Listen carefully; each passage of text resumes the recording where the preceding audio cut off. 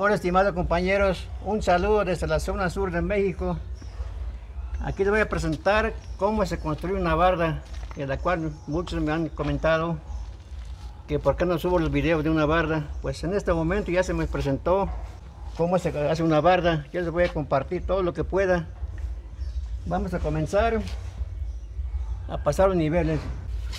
El nivel tomamos de nivel 0. Ustedes ya saben qué es nivel 0. Si no, de los videos que habla de cómo se pasan niveles con la manguera. Pueden buscar ese video. Cómo se pasan los niveles con la manguera de nivel. Ahí se apoyan. Buscan el nivel 0 de la banqueta. De aquí para arriba marco un metro. El hilo está un metro. Para que no haya pierde.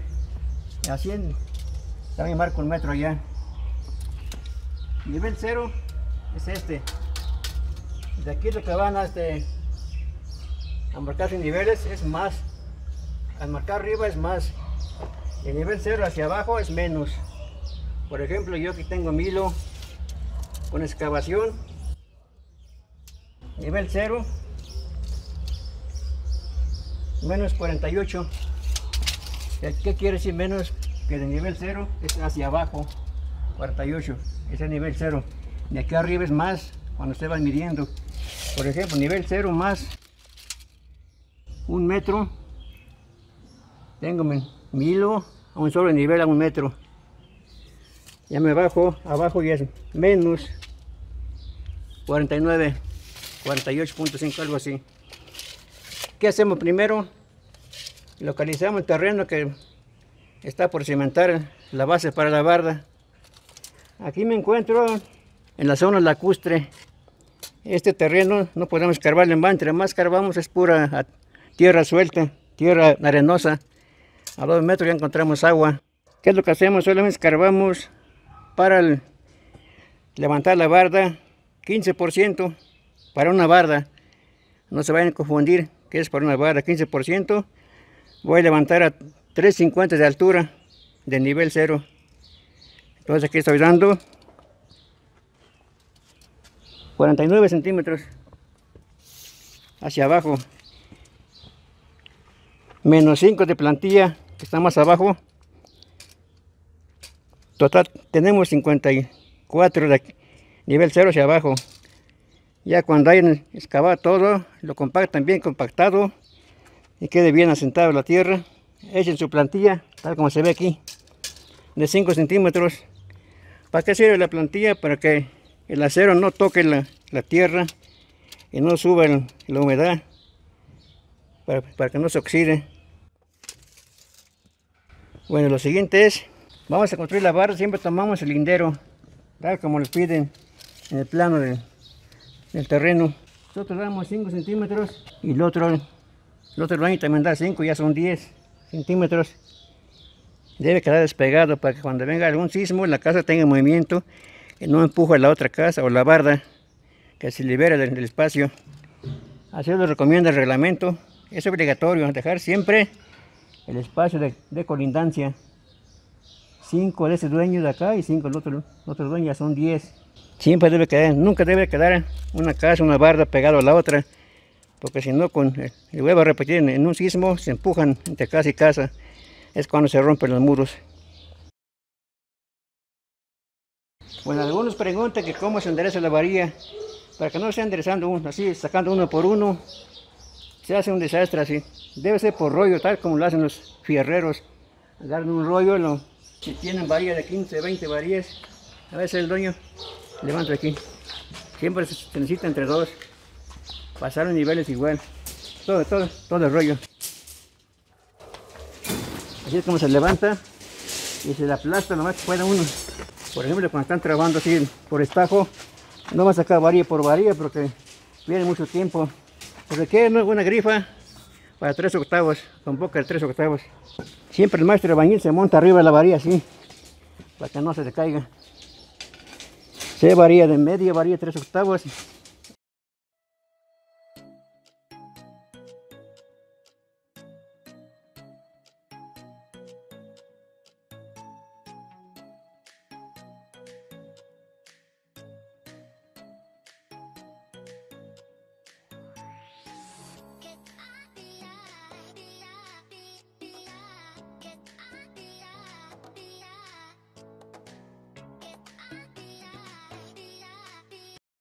Así es como se endereza la bahía. Ya lo que falta se van sacando uno por uno. Nunca enderezan a golpes. Porque hay unos albañiles que agarran el marro, sacan, empieza a pegarle, se ve, un- se ve muy mal. Deben aprender bien a enderezar la varilla. A pura grifa. Lo giran con el mismo pie. Ahí se ve en la de curvatura. Por ejemplo, aquí se va una curvatura. Enderezan así. Ya que llega uno- una compañía grande, muestran que saben trabajar. Debe quedar bien derechita. De cualquier diámetro de varilla. Para que su castillo columna no se ve mal armado. Esto que está colocando son bastones para poner una varilla larga, dos, tres largas y abajo van los bastones para que se vea más se baje el plomo. Esto van a cada 15, cada 15. Ya que lo tenemos todo el armado, lo calzamos. Debe quedar 5 despegados de, la plantilla para que le entre el concreto abajo de los bastones.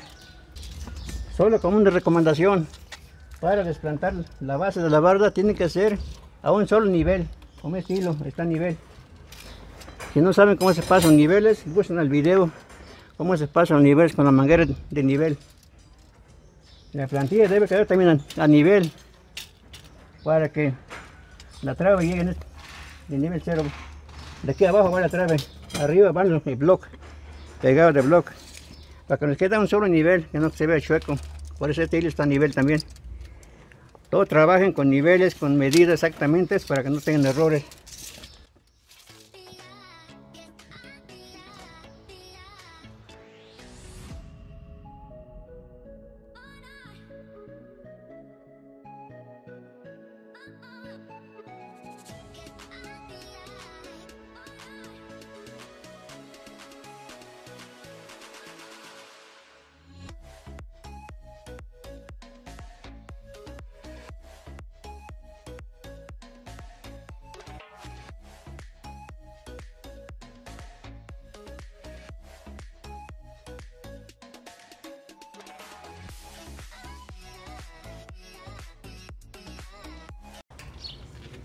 Todo lo que están viendo colegas, están, estoy amarrando los bastones, que son bastones, los que van largas las varillas, con ganchos de 5 centímetros, y sus amarres a cada 15, ya nomás, ya tengo marcados los, el gancho, nomás lo voy mi- midiendo cada 15, cada 15, aquí ven todo chueco, ese lo voy, voy amarrando voy alineando, no hay ningún pierde. Y ayer después de esta, esta parrilla viene la, la trave armado. Lo están armando afuera. En un momento lo, estaremos colocando. Para que ustedes vean cómo se arma la parrilla con bastones. De la cual aquí va sentada la trave arriba. Aquí los amarres pueden ser sencillos. Nada más con uno al derecho, otra al re- al revés, para que vayan cuatrapeados los amarres.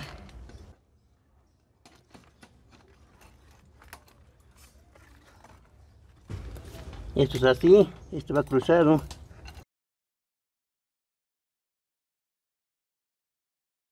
Esto es para que no se afloje lo que estemos pisando. Vemos que esta amarra está así, esto va de esta forma.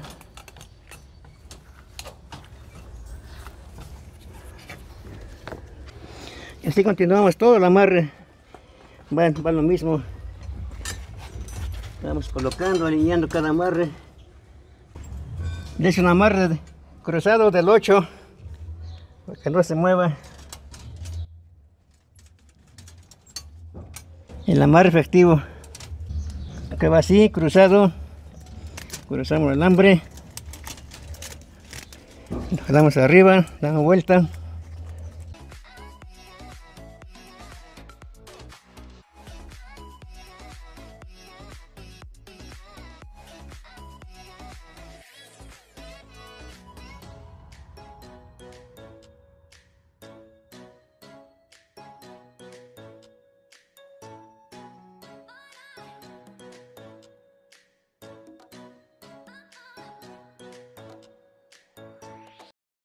Ya cuando acabo de amarrar metemos los castillos.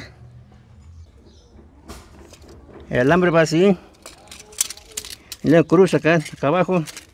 Sale por arriba así y amarra otra vez. Es el amarre cruzado. Tal como se ve aquí. Es un amarre efectivo que no se mueve. Puede subirse uno arriba y no se afloja. Todos los amarres están así. Acá abajo se ve igual, amarre cruzado. Se tarda un poco para que quede muy bien amarrado. Este es lo más recomendable. ¿Qué hacemos aquí? Pues aquí tenemos bastones, varillas largas, la traba igual. Tenemos 2, 4, 6 varillas de 3 octavos con estribo de un cuarto de alambrón porque solo es para una barda. Puede aguantar hasta un nivel, a un piso. Ya para una casa no se vayan a confundir, van a decir, maestro, busca una trave. Yo no quiero para una casa de dos o tres niveles, no, ya, ya es, es diferente el armado. Por una casa hay que meter la varilla de media, estribo de 3 octavos, varilla de 3 octavos. Aquí por una barda solamente estribo de un cuarto. Va de esta forma, cada 15, cada 15. Ahora lo que sigue es amarrar los castillos. Medimos lo que es si mide 12 metros, corto a la mitad. Ya van a cada 3 metros los castillos. No pueden poner 4 metros porque después con el temblor se abren los muros a cada 3 metros. Allá a la esquina a ir un, castillo con varilla de 4, de media o número 4. Por ejemplo, ya tengo marcado del, desde el fondo a los castillos de Armex.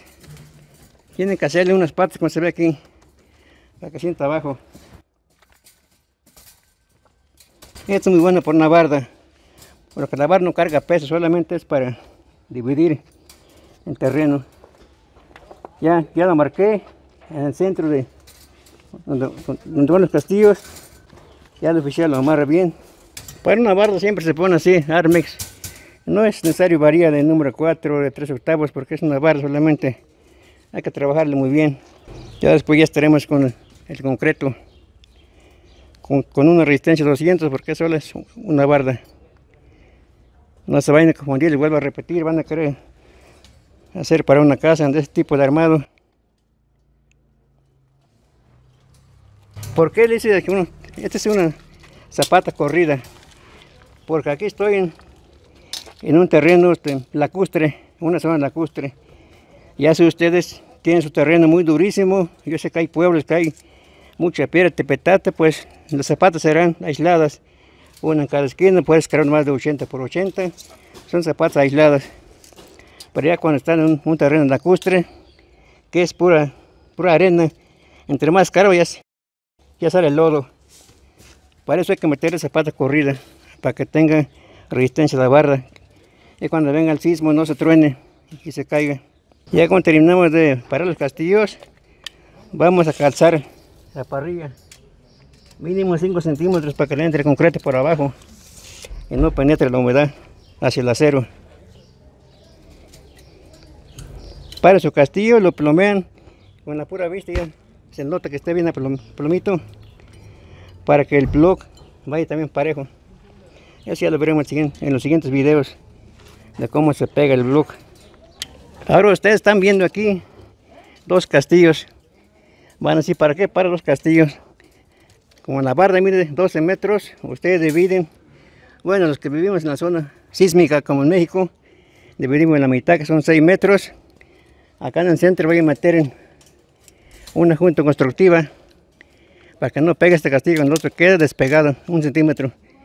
Por ejemplo, voy a llevar un cartón acá de ese lado, cartón, porque esa es una junta constructiva. Cuando venga el sismo, esta barra se mueve aparte, la otra también. Ya les mostraré en los siguientes videos.